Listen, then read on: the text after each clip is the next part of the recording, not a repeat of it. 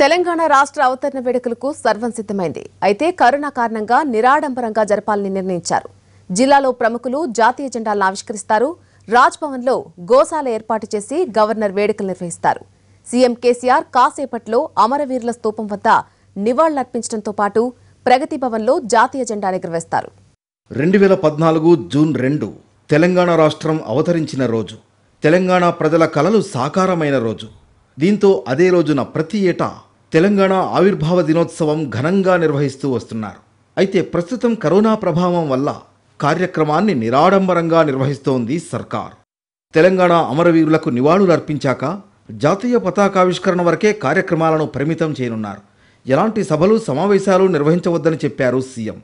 కాసేపట్లో హైదరాబాద్లో అమరవీరుల స్థూపం వద్ద నివాళి అర్పించనున్నారు సీఎం. తర్వాత ప్రగతి భవన్లో జాతీయ జెండాను ఆవిష్కరిస్తారు. అదేవిధంగా జిల్లాల్లో ప్రముఖులు అమరవీరులకు నివాళులర్పించి కలెక్టరేట్లలో జాతీయ జెండాను ఎగరవేస్తారు. ఈసారి రాజ్భవన్లో దీపాలంకరణ చేయడం లేదు.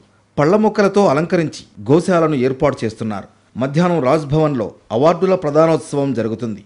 ఈ కార్యక్రమం కూడా కోవిడ్ నిబంధనల ప్రకారమే నిర్వహిస్తారు. తలసేమియా బాధితులను కూడా కలవనున్నారు గవర్నర్. అందరికీ నమస్కారం.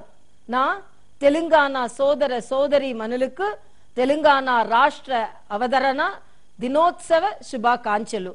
మనమంతరము ఐక్యంతో కృషి చేసి ఉత్తమ రాష్ట్రముగా తీర్చిదిద్దుదాం. మన దేశమే మనకు గౌరవం మన రాష్ట్రమే మనకు గౌరవం. ధన్యవాదాలు. జై హింద్ జై తెలంగాణ. తెలంగాణ అవతరణ వేడుకల్లో భాగంగా ప్రభుత్వ కార్యాలయాల్లో కూడా ఎలాంటి ఆర్భాటాలు వద్దని సూచించింది ప్రభుత్వం.